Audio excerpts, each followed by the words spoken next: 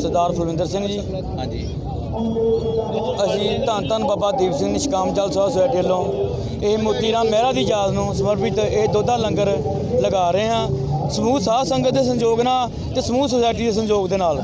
ਇਹ ਅਸੀਂ ਹਰ ਸਾਲ ਉਪਰਾਲਾ ਕਰਦੇ ਹਾਂ 2 ਸਾਲ ਹੋ ਗਏ ਨੇ ਅਸੀਂ ਇਹ ਉਪਰਾਲਾ ਕਰਦੇ ਹਾਂ ਕਿ ਅਸੀਂ ਇਹ ਉਪਰਾਲਾ ਹਰ ਸਾਲ ਸੰਗਤਾਂ ਦੇ ਸੰਯੋਗ ਨਾਲ ਅਤੇ ਨਿਸ਼ਕਾਮ ਜਲ ਸਭਾ ਸੁਸਾਇਟੀ ਦੇ ਸੰਯੋਗ ਨਾਲ ਇਹ ਉਪਰਾਲਾ ਕਰ ਰਹੇ ਹਾਂ।